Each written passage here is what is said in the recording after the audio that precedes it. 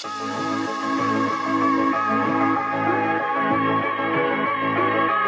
you.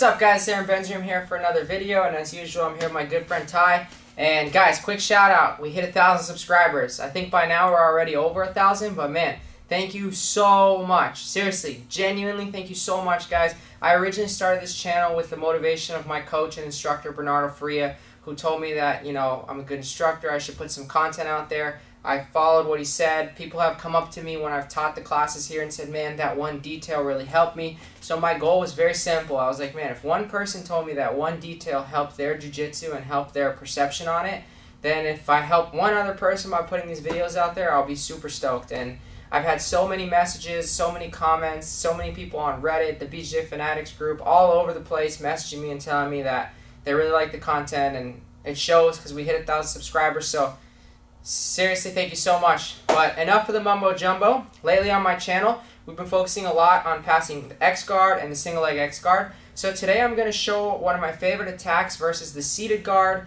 and single leg X guard. And that is a rolling Kimura. We're going to break down a couple of the principles of the rolling Kimura because normally I make uh, basics and control principles. But this is going to be a one-shot video and I might refer you guys back to it. If you miss any of my other single leg X passing videos, I'll link them in the description. I made one video on passing single leg X which showed like my three favorite passes, so that's going to be in the description. A couple on leg pummeling and some other things, but without further ado, enough talking, let's get into it. So guys, uh, let's sit right here. So guys, anytime you're fighting somebody in the seated guard position and they scoot in aggressively, the rolling Kimura is a very, very good option. Not only can you pass their guard, you may end up taking their back, and you may ultimately end up submitting them. So it's a really good attack also because of the versatility. You're able to utilize it in both gi and no gi. So the move happens, let's actually turn this way. The move happens when the guy's coming in and trying to get shin to shin, right? I know what he's trying to do, right? He's trying to get me into single leg X. Most likely, he may be trying to, to sweep me. So my first order of action is to try to attack this arm if I feel like he's going to pull me. I've made a leg pummeling video on getting out of here, which genuinely is what I do more often, but I do shoot this rolling Kimura a lot if I see the opportunity. What's the opportunity? The opportunity is this hand on the mat. A good guy in single leg X, and when I taught single leg X bottom, will keep his elbow super tight to his ribs, and he'll be super, super tight like this. Even if he extends me a lot here, I might go for it. But the main opportunity I go for is when he puts his hand on the floor. If he puts his hand on the floor, that's a critical error. So, what am I going to do? I'm going to roll, and I'm not going to try to get the Kimura here, right? I'm not going to lean over him and try to get the Kimura. That's unrealistic expectations. That's why I have to be able to capitalize on the transition. When you're drilling this movement, it's important for you guys to move your partner's head out of the way just for the sake of drilling. When you do it competitively, it's not so important, but I don't want you guys to hit your hip on their head. I've seen some terrible accidents where the guy rolls and he doesn't have a good forward roll and his hip nails his partner's head. So I'm going to be here. I'm going to move Ty's head for now. I'll do it with his head there in a second. And then look, what I'm going to do is I'm going to grab his wrist with a monkey paw or with your thumb in, whatever you want. Sometimes I alternate. And I'm going to do a forward roll. But I have to do a forward roll and make sure to clear my legs. So I'll show you what I do. So I'm here. I grab his wrist. As I roll, in the transition, my arm comes inside underneath his armpit like so. So I'm here and here. Okay, so I locked up my Kimura grip. Now, how do I finish this position? So what I need to do now is push the palm of Ty's hand to his belt. I want to extend it like so. Now, as I do so, I have to turn onto my hip, like this.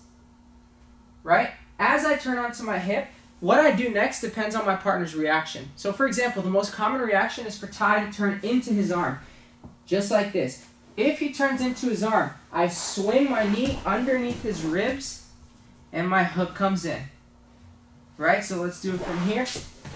So I'm here, he really tries to get up, and I swing myself in. Do you see how my knee is in? That's very important, guys. If I lose this battle, I might lose the position. So if my knee is here, I might lose the position. Right? So I want to get my knee underneath. And I even make like a hook behind his hip. Right? Keeping everything tight. My other hook comes in. Now look, guys. Also an important detail. My elbow is going to come in front of his face. I don't want my elbow forward. Ty might start to pull my arm. Yes, like this, guys. This can be kind of an issue, right? I want to be able to separate myself. So I want to be here. Now, at this point, guys, I have a lot of options still. I can hug his arm to me and dig the seatbelt and then control his wrist. Like in Danaher's back system, he controls the hand here. And then I roll, push the wrist, and throw the hook over and start to attack the neck. I can also, right, if I'm here, I can maintain the Kimura grip. I can roll him this way throw the hook in now, and then pull myself to him, and still control the wrist, and block it.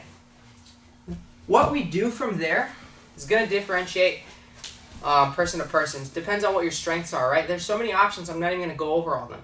You have crucifix options, you have triangle options, you have basic Kimura options, armbar options. I try to generally focus on the back take, but if the guy's being stubborn and doesn't want to give me the back take, then I get up and I accept the guard pass. So let's look at it again from the seated guard. So we're here, my partner's scooting in aggressively. I grab his wrist, I roll, and I come here. Right away, I pin the wrist. He starts to get up.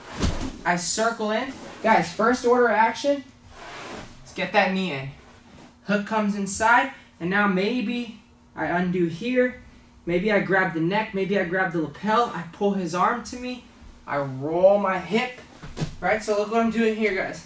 I'm on my right hip, I'm gonna go to my left hip, and as I do so, I'm gonna scoop my hip down with my foot. I'm gonna grab his wrist, pin it down to his belt, lock over, pull my hand out. I can go palm to palm choke, I can go bow and arrow, I can start to look for the reverse triangle. You guys have a lot of options. So let's do it one more time. So he's here, he scoots in, boom, I see his hand. Maybe if I even catch his wrist as he goes to grab my leg, like this, then I roll through, and I get here. If he doesn't get up, I just push his arm to him, and then I get up, and maybe I attack the Kimura, right? Bunch of different options. So, the next position we're going to look at this from is from a full single leg X. So this time my partner was here, he pulled me into single leg X, and I'm here. So guys, one, let's move back a little because I'm going to roll off camera. So once again, guys, I have good base in this position, right? I don't have heel exposure, right? So check out my single leg X video on passing if you missed this. I'm going to peel the hook still, just like this. Guys, if I'm able to or if he gives it to me, sometimes their hand is hanging freely here, or maybe he's trying to grab my pants or my ankle. Guys, if he's here, I peel his ankle grip, put his hand on the floor, and I roll through. As I roll, I lift his hand up to make space, like so. Here. Now we're in the same position, guys. So let's look at it again. So I'm here, right? In single leg X, I have good base. Maybe he grabs my ankle, right? I peel this hook. I come here, I peel this ankle grip, and then I roll. I always make sure to clear these legs, guys. I want to roll so that him and I are almost in a 180 degree angle. I don't want to stop my roll short right here. Right? I want to roll so that my legs are nowhere near him. So one more time from the other side. So he has single leg X, right? He's here like this. I peel, I grab the wrist. I have to move. Once I peel the hook, if I roll, big, big pointer here, guys. If I roll with this hook and he's looking for my ankle, he might go belly down with it. I cannot roll with this here. I have to peel and I have to roll. Right? So if you just roll and he recomposes that hook very quickly, it could pose a problem. So bear that in mind and know that no technique is perfect. But most of the times you surprise your opponent with this move and you do it really quickly. I actually started doing this move because my favorite guard is single leg X, and while playing single leg X, I got destroyed by a friend of mine who just kept rolling Kimura me, rolling Kimura me, rolling Kimura. So it's something that I knew was effective because I had never really encountered it. I think I was a blue or purple belt, and he destroyed me with it. So it was something that right after that, I corrected the mistakes from bottom, and then I implemented them from top. So, guys, I hope you enjoyed this content. Once again, if you like this video, please like and subscribe. And thank you so much for getting to 1,000 subscribers. You guys rock. Oh, guys.